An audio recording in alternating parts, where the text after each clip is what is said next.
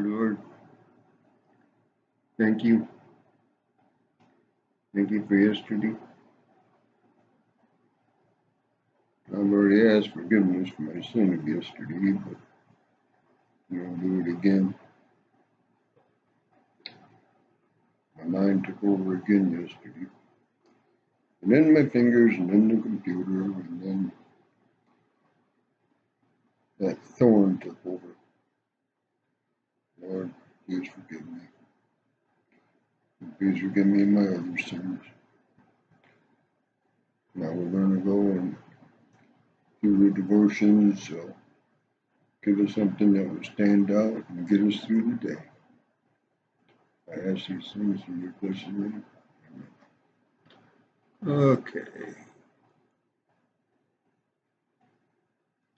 Tuesday, April 28th. I never felt like quitting. But as for you, brethren, do not grow weary in doing good.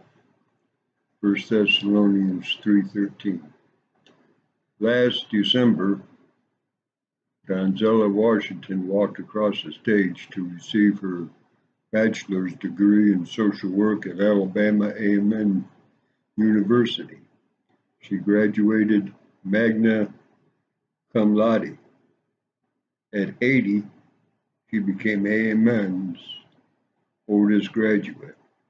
Even though there were a lot of tears and late night studying at 1 or 2 a.m. in the morning, I was determined. I never felt like quitting, she said. Now Donzella plans to work on her master's degree and volunteer at nursing homes. We should guard against the desire to quit. Sometimes we grow weary in the work, but we should never become weary of the work the Lord gives us to do. Galatians 6 9 says, And let us not grow weary while doing good for in due season we shall reap if we do not lose heart. Hebrews 12:3 warns against becoming weary and discouraged in our souls. God has done so much for us, we should never become weary in doing good for Him. Make up your mind to stay enthused, determined, and active in whatever task God gives you today. Never grow weary in doing good. It's always too soon to quit. Can we be casual in the work of God? Casual when the house is on fire? When people are in danger of being burned? Duncan Campbell.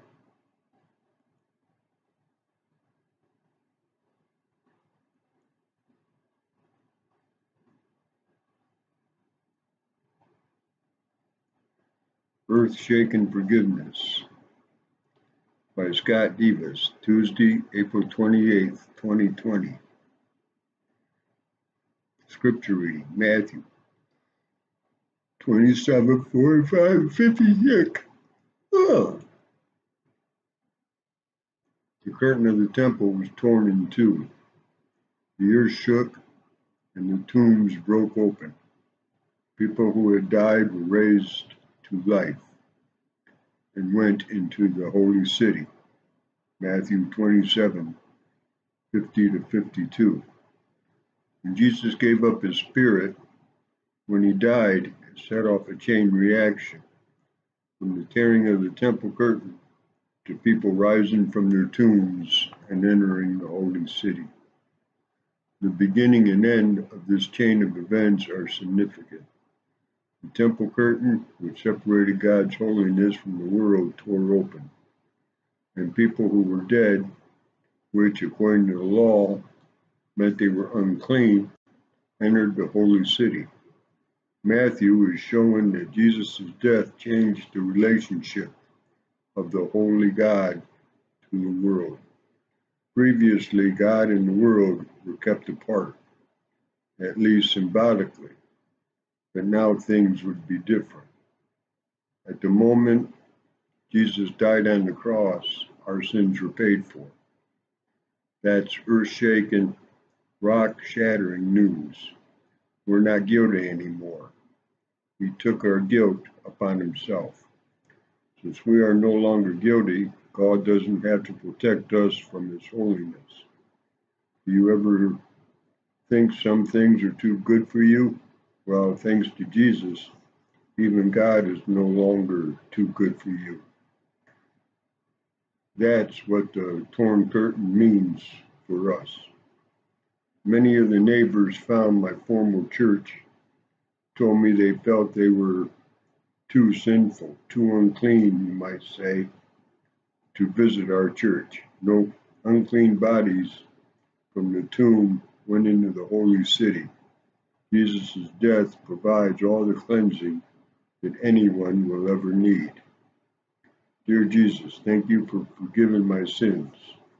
Thank you for dying so that I could be in your presence and with your people. Amen.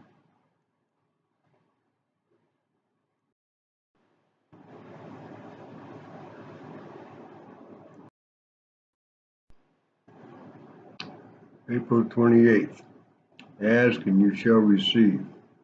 Ask and it will be given to you. Seek and you will find. Knock and the door will be opened for you to you. Matthew 7 7. Evangelist D.L. Moody told of two Christian women who were burdened for their unsaved husbands. They agreed on a radical plan. They would each spend an hour a day praying for the salvation of their men. After seven years, the women grew discouraged and debated giving up. They could see no progress. But the women decided to persevere as long as they lived. So they rededicated themselves to the task. Three years later, one of the women was awakened in the night by her husband, who was in great distress about his soul. As soon as the sun rose, that woman hurried off towards her friend's house to tell her that God was about to answer her prayers. She was astonished to meet her friend coming from the opposite direction with the same news. Ten years of persevering prayer was crowned with the conversion of both husbands on the same day. The month of April is a good time to remember that, yes, we may pray anytime, anywhere, for anything. Don't grow, grow discouraged in prayer. Ask and it will be given to you. Seek and you will find. Knock and the door will be open. April 28. Persevere. Tribulation produces a perseverance, and perseverance character, and character hope. Romans 5, 3 and 4. Recently, a student was asked to give a talk at his church, and he spoke of the importance of perseverance, but he didn't know how to correctly pronounce that word. Throughout his talk, he kept talking about perseverance.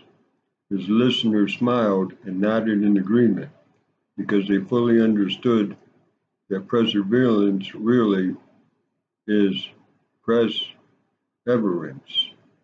It's the quality of pressing forward, whatever comes.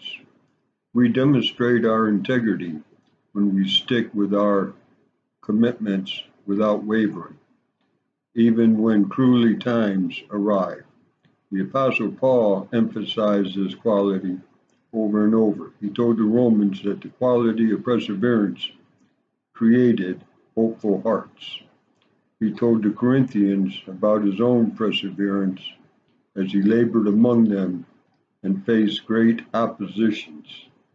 He told the Ephesians to be watchful to this end with all perseverance and supplication for all the saints. As he reminded Timothy, but if you have carefully followed my doctrine, manner of life, purpose, faith, long suffering, love, perseverance. Let's be true to our commitments to God and others as we press toward the goal for the prize of the upward call of God in Christ Jesus. Psalms 38 My guilt has overwhelmed me like a burden too heavy to bear. My wounds fester and are loathsome because of my sinful folly. I am bowed down and brought very low. All day long I go about mourning. My back is filled with searing pain. There is no health in my body. I am feeble and utterly crushed. I groan in anguish of heart. I am like a deaf man who cannot hear, like a mute who cannot open his mouth. I have become like a man who does not hear, whose mouth can offer no reply. O Lord, do not forsake me. Be not far from me, O my God. Come quickly to help me, O Lord, my Savior. I said, I will watch my ways and keep my tongue from sin. I will put a muzzle on my mouth as long as the wicked are in my presence. But when I was silent and still, not saying anything good, my anguish increased. My heart grew hot within me, and as I meditated, the fire burned. Then I spoke with my tongue. Show me, O Lord, my life's end and the number of my days. Let me know how fleeting is my life. You have made my days a mere hand's breadth. The span of my years is as nothing before you. Each man's life is but a breath. Man is a mere phantom as he goes to and fro. He bustles about, but only in vain. He heaps up wealth, not knowing who will get it. From the book of Jonah, chapter 2. From inside the fish, Jonah prayed to the Lord, his God. He said, In my distress, I called to the Lord, and he answered me. From the depths of the grave, I called for help, and you listened to my cry. You hurled me into the deep, into the very heart of the sea, and the currents swelled about me. All your waves and breakers swept over me. I said, I have been banished from your sight. Yet I will look again toward your holy temple. The engulfing waters threatened me. The deep surrounded me. Seaweed was wrapped around my head. To the roots of the mountain I sank down. The earth beneath barred me forever. But you brought my life up from the pit, O Lord my God. When my life was ebbing away, I remembered you, Lord, and my prayer rose to you, to your holy temple. Those who clung to worthless idols forfeit the grace that could be theirs. But I, with the song of thanksgiving, will sacrifice to you. What I have vowed, I will make good. Salvation comes from the Lord. And the Lord commanded the fish, and it vomited Jonah onto dry land in loving memory of Dorothy E. Taylor. Mom. July 11, 1926 to July 6, 2014. God saw you getting tired, and a cure was not to be. So he put his arms around you and whispered, Come to me. With tearful eyes we watched you and saw you pass away. Although we loved you dearly, we could not make you stay. Your golden heart stopped beating hard-working hands at rest. God broke our hearts to prove to us He only takes the best. Lord, once again, humbly I come before you, thanking you for the reading. Jonah was an interesting story in your holy book. to disobey you means quite a bit people's lives. Our Lord, once again, I'm asking for your wisdom. Your wisdom to be poured out on my family, all of them, every relation, the fifth, sixth, seventh, eighth, ninth, tenth generation that are still living. Lord, they veer off to the left or to the right, pour out your wisdom on them to bring them back. Thank you. And now for my high school friends, I went to school with them and their extended family to eighth, ninth, tenth generation. Please pour out your wisdom on them. So if they veer to the left or right, pour wisdom on them to bring them back looking at you. And now for the friends I have on Facebook and their extended family, also to the eighth, ninth, and tenth generation. If they take their eyes off you, please pour your wisdom on them. And as for me, Lord, before my mind even starts to wander, pour out your wisdom on me. Maybe that's the secret of putting my thorn in check. I gotta try something. Nothing seems to work. Not even thinking of you. Worked for me yesterday, I did. I thought of you as I was watching those videos. Did I turn them off? Nope. I kept right on watching them. And defiled you. And I'm sorry for that. But pour your wisdom on me, Lord. Either that or just shut this computer off when I go there. I ask these things in your blessing. Amen.